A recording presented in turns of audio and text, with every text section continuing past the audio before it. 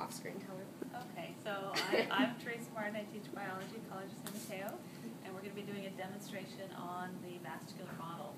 So, um, if you can zoom in, we're gonna start with the aorta, and, uh, we'll look at, um, the branches off of the aorta. So here we see the ascending aorta, okay, right here. And as it comes around, there's the arch of the aorta coming around, and then along the back, we see the descending aorta.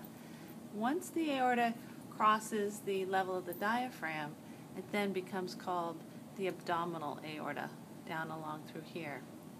So we're going to come back and we're going to look up here at the first three branches off of the aorta. And right here we see what's called the brachiocephalic trunk or the brachiocephalic artery.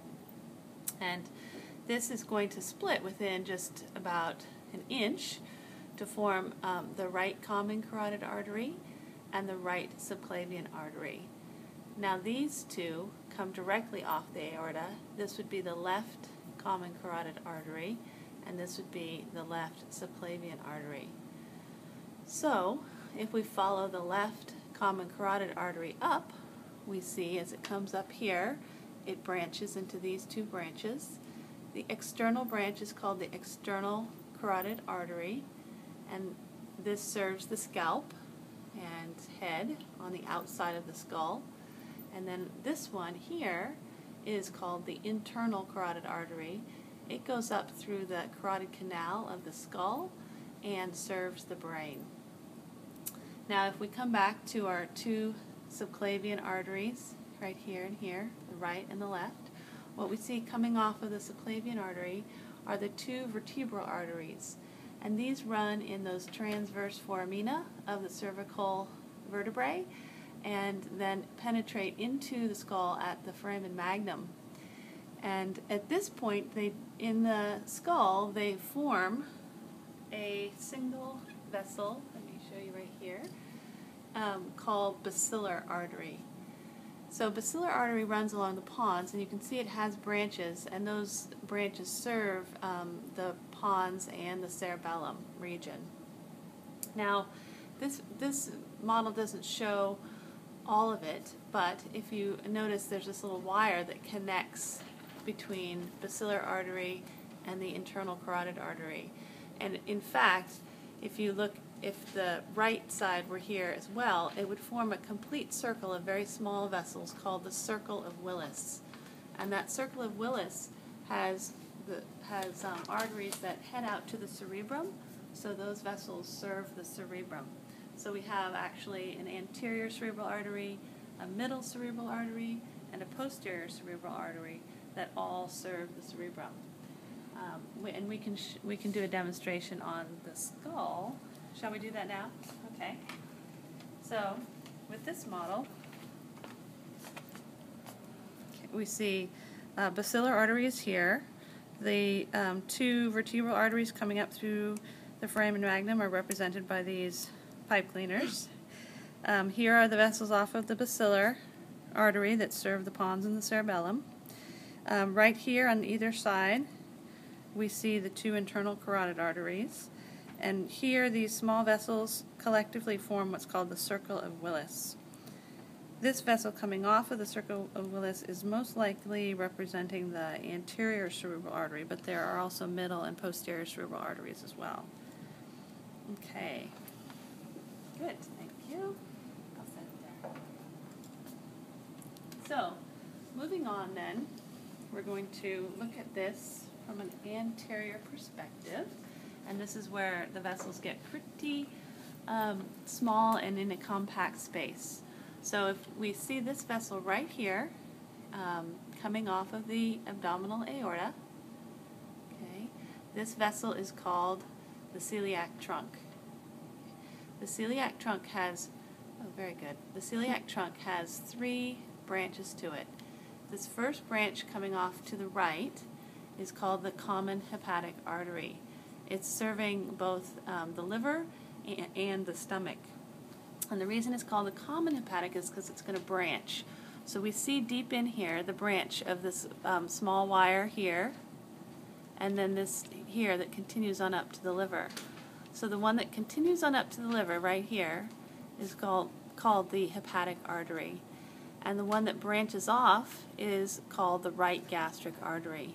Now there's also a left gastric artery and that comes straight off of the celiac trunk and this is has been has fallen away but it's um, should be attached right here and so this would be the left gastric artery and the two form come together to form a loop a gastric artery loop. So you have a right and a left gastric artery. Then lastly coming off the celiac trunk we have the splenic artery which comes out to this or organ which is the spleen right here okay so um, we have um, two more vessels that serve the um, sort of the viscera of the abdomen. This one right here is called the superior mesenteric artery, serving kind of the upper intestines. And then this one down here is called the inferior mesenteric artery, which is serving more of the lower intestines. Um, the um, two vessels on either side of the aorta that are going to the kidneys we see these would be called the left and the right renal arteries.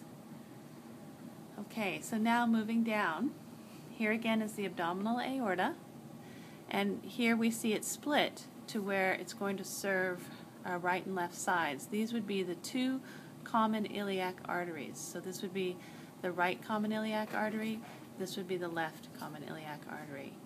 Those split again. Okay. We'll get to that in a minute. Um, those split again into the, uh, here we see a, a longer extended version here of the internal iliac artery. And then over here would be the external iliac artery. So the internal iliac artery branches serve the um, pelvic intestines, pelvic viscera, um, so uh, urinary structures, reproductive structures, that sort of thing. And then here, the external iliac artery, as it comes uh, under or deep to the inguinal ligament, the name changes. So the name becomes along the femur, the femoral artery. And then behind the knee, the name changes to what's called the popliteal artery. So popliteal artery is going to branch into this vessel here, which is called the anterior tibial artery, and this vessel here, which is the posterior tibial artery. The posterior tibial artery branches again and has two branches. One um, comes down to the, the sole of the foot, that's con um, continuing the posterior tibial artery. And this branch here, which would come along down the lateral side of the leg, um, is called the fibular or the peroneal artery, serving those peroneal muscles, the peroneus longus brevis and tertius, or fibularis longus brevis and tertius. Um, so that pretty much, oh, we need to follow back out uh, the subclavian artery.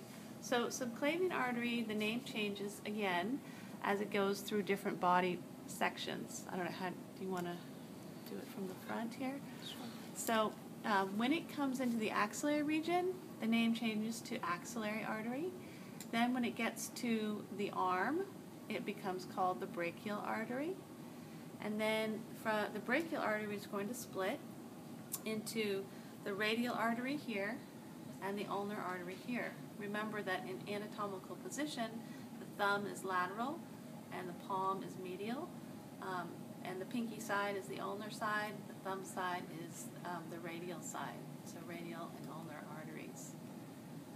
Any questions? No. okay, great. We'll stop Thank there. you.